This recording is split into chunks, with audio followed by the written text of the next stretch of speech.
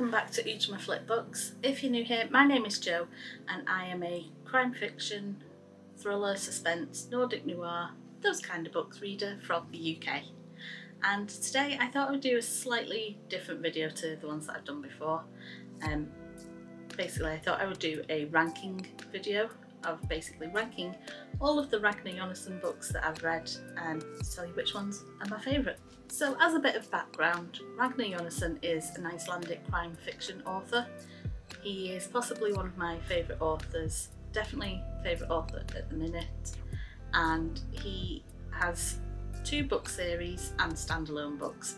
He has a series set around Detective Ari Thor, which is called the Dark Iceland series, and then he has a series set around Detective Hulda Hermannsdottir, and that is the Hidden Iceland Yes, Hidden Iceland. Checking my notes there. uh, so yeah, Dark Iceland series, Hidden Iceland series, and then a couple of standalone books as well. So in total, 11 books have been published to date in the UK. The Ari Thor series, or the Dark Iceland series, has six books in it, and they are Snowblind, Blackout, Rupture, Whiteout, Nightblind, and Winterkill. Goodreads actually lists these books in the wrong order, because they are all translated from the original Icelandic and at some point the numbering has been like messed up that there was a book published in Icelandic that then took longer to reach an English translation so the numbering is off on Goodreads and I think on Amazon as well but if you want to read them in the order that makes sense for the Ari Thor story it's Snowblind, Blackout, Rupture, Whiteout, Nightblind, Winterkill.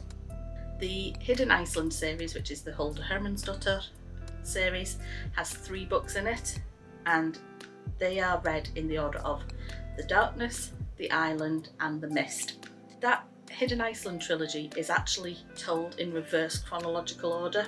So starting with The Darkness is actually the end of Hulda's story. So you get the end of her career and then you go back into cases from earlier in her career which also seems to cause a little bit of confusion sometimes with like Goodreads and Amazon in terms of ordering because yeah it's told reverse chronological and then the books that are standalone we've got Outside which I will leave my review of linked up there somewhere and then we also have Girl Who Died. So yeah, they're the books that have been published to date in the UK and I just thought I would do a what my ordering is of sort of which books I think is the best. So background done, let's jump in with coming in at number 11 is The Darkness. So I want to start by saying that this is not a bad book. I do not think that there are any bad Ragnar Jonasson books, but I did struggle to get into this book once I was in it, I really enjoyed it, but just that initial bit I slightly struggled with. I don't know if it's because at the point where I started reading this, I had basically been binge reading the Ari Thor series and I don't know, if I was just missing the Ari Thor character.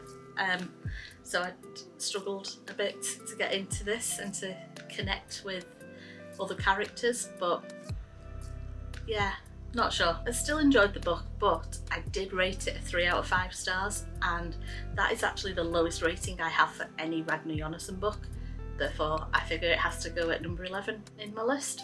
Next up at number 10 is Snowblind. Now, I don't actually know where my copy of Snowblind is, which leads me to think that I have lent it to my parents. I'm not sure, but I don't have my copy anyway. Um, this is the first of the Ari Thor books. It's a great book, but something needed to go at number 10, so I picked this one. Um, I did rate it 4 out of 5 stars though, so 4 out of 5 for Snowblind, but it's coming in at number 10. In at number 9 is Outside. I'm not going to go into great detail about this because there's an entire video about this book on this channel, which I've already said I will leave linked up there, but I gave it 4 out of 5 stars. I enjoy it but it's at number 9 on my overall Ragnar Jonasson list. Coming in at number 8 and it's another 4 star read, it's The Island This is the second book in the Hulda Hermannsdottir series and this is a really great character driven book. It's a classic locked room whodunit and it's a really enjoyable read. Again, something has to come in at number 8 so picked this one. In at number 7 is Night Blind. The start of this book left me literally just open mouth just going like oh, what just happened? This does not happen in this little village. It was a really great read. Again, I rated it 4 out of 5 stars, but definitely recommend. And I think the strength of this book and it only coming in at number 7 says how good I think Ragnar Jonasson is as an author. Then at number 6 we have the second standalone book, which is The Girl Who Died. Again, I rated this 4 stars, which on reflection, I think I was being harsh on my initial read through and when I come to reread this book, I suspect I will put it up to five stars because it's a great mix of crime and supernatural and who done it did anyone do it like, I don't know I, I just really enjoyed this book this was actually one that I read last summer and I feel like it was perfect as a summer read I know some people will be like you read crime fiction as your summer I read crime fiction for every season. Uh, but yeah, sunbathing, reading about the girl who died. Very much enjoyed it, and yeah, this was number six. So now we're moving on to the top five. At five, we have Blackout. This book is set in 2010 at the time of the Eyjafjallajökull eruption, and I just absolutely love it. I rated this book five stars because I think the setting of it and me actually remembering all the footage of the chaos from the eruptions on the TV mixed with how the book changes my opinions of certain characters. Um, I'd sort of had one way of thinking of some of the characters of Ari Thor and the supporting characters and this book changed my opinion on them so for that reason um, I rate it very highly and gave it five stars and yeah it's number five on the list. In at four is Rupture. This book has so many like weaving stories of cold cases and abductions and death and it doesn't do it in a rushed way. Like it's a 244 pages of book and each story is given time to breathe and all comes together really nicely and I just really enjoyed that it had so many twists and turns of different stories weaving its way through the story so very much enjoyed it once again gave a five star um, as with the rest of these books but yeah this one comes in at number four and now we're into the top three and in at three is Winterkill this is the last book although I would really hope it's not actually the last of the Ari Thor series. Like, I would love more Ari Thor stories, please, Ragnar Jonasson. Uh, like he ever is ever going to see this video, but you know, on the off chance, please write some more Ari Thor. there isn't anything I can say about this without giving spoilers, so I'm not going to. I'm just going to say it's a really good read. I gave it five stars. You should check it out. It's number three on my list and a quick change of my camera battery later, we're into the top two. So drum roll. That's me the best I can do for a drum roll. Clearly lost the plot. Um, in at number two is Whiteout. I am going to be completely honest. I have written this list out seven or eight times and this book switches between being in first and second place. So I, I can swing both ways on it. I think I'm finally happy saying that it's second in my ranking, but yeah, no, we're gonna we're gonna go with it. Second is Whiteout. This is a completely masterful display of how to do time jumps in a book. I just think this book is perfect and obviously as I've said I've rated everything in my top five as five stars but yeah this is possibly say it switches between first and second, but it's it is up there as one of the best books that I've ever read and I really enjoyed it, which is why it's number two on my list. And then coming in at number one is The Mist.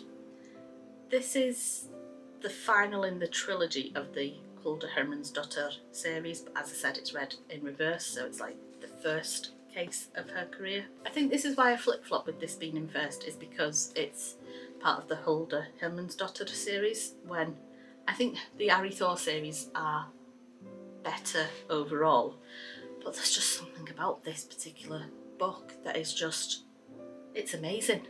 That, that's all I can think to describe it as, amazing. Really interesting characters, but also totally unlike anything else I had read at the time.